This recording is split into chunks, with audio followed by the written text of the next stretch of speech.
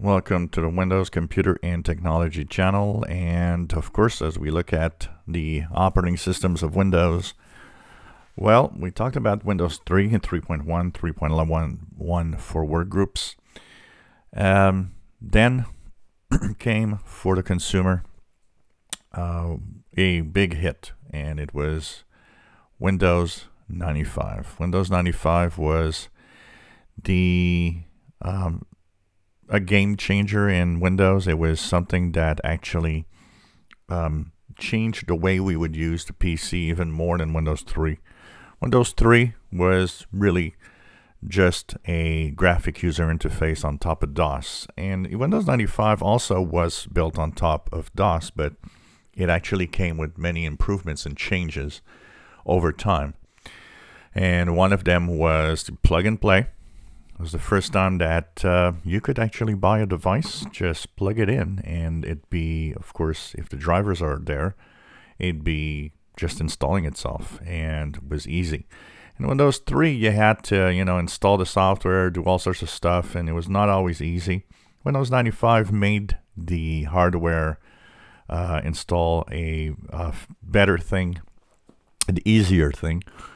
Uh, to some extent, we still had quite a few little problems with Windows 95 on the uh, installs of USB devices sometimes. So you see here what it looked like.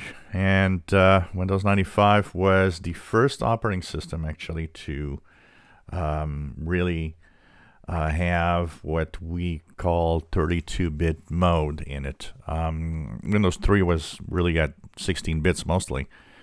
Windows 95 had, of course, a change here, and Windows 95 introduced, of course, the 32-bit uh, architecture, which actually was the start, was what would be fully implemented um, later on, but actually let Windows do multitasking uh, easily. The minimum requirement for Windows 95 was believe it or not, when compared to our machines today, a 386DX machine running at 20 megahertz or higher. And it was also required to run MS-DOS 3.2 or later. And so that is kind of interesting, or capable of running Windows 3 or later.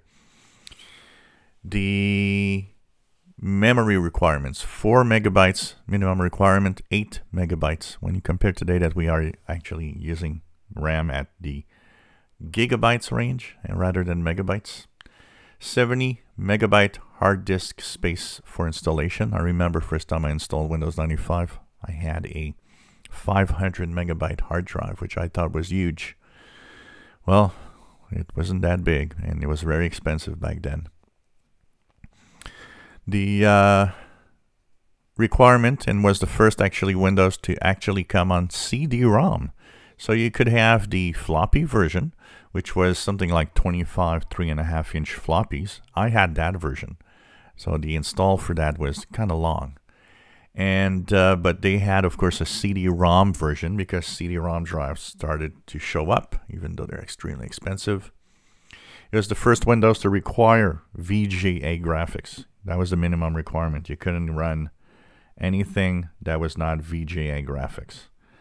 So uh, that was kind of uh, cool to uh, to check out. As you see here, it had Notepad. Whoa!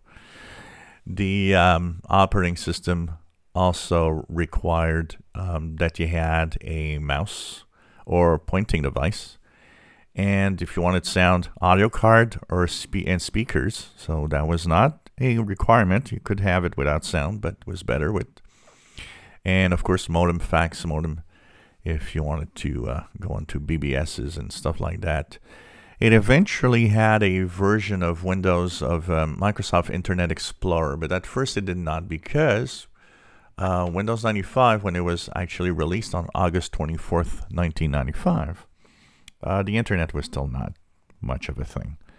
It was really the start of the internet, and um, I believe in '95 that's when the uh, first browsers came out, and um, that would uh, change the world. With, of course, the uh, World Wide Web being something brand new at the time. Um, little did we know.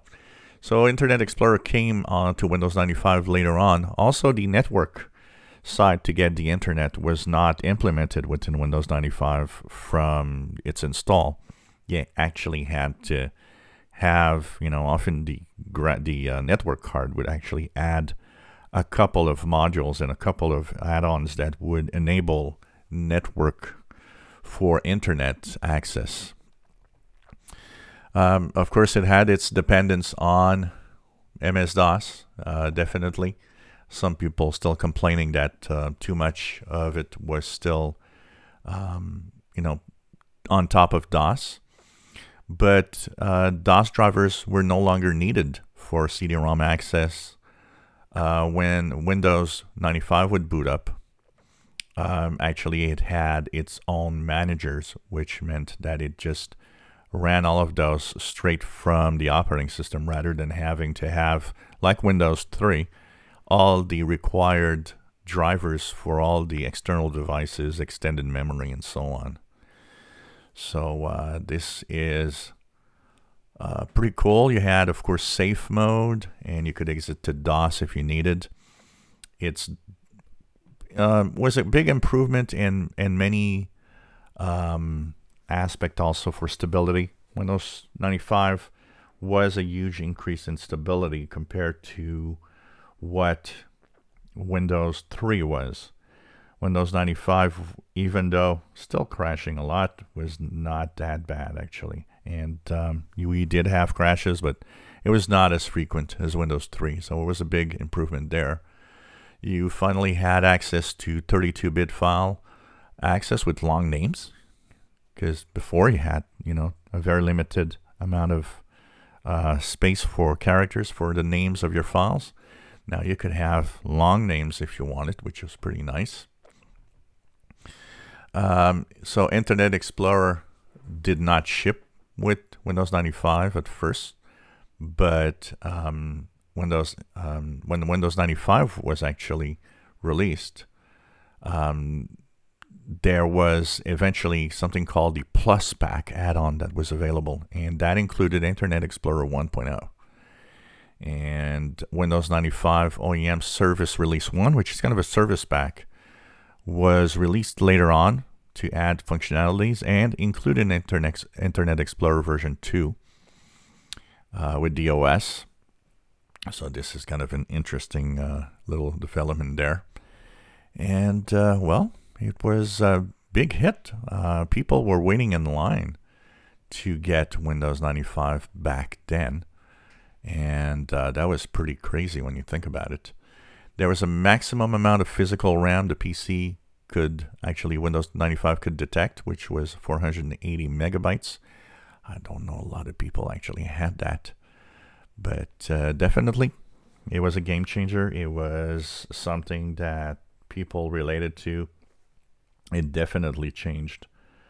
Um, you know, with the plug and play feature that added the possibility to really make it easy to install devices was quite interesting and quite cool to see. So Windows 95, I would give Windows 95 a score of 9 out of 10 for the innovation, for the feel of really, for the first time, having a operating system working not just some kind of front end of DOS, even though it was still a front end of DOS, and had it much more capabilities and uh, you know multimedia was uh, getting ahead here, and there was a lot more that you could see. The VGA requirement meant that graphics and everything you do was also better. So uh, was a nice one. Really enjoyed using it back then. Uh, definitely. If you enjoy my videos, please subscribe, give us thumbs up, and hope you enjoyed this look back at a different version of Windows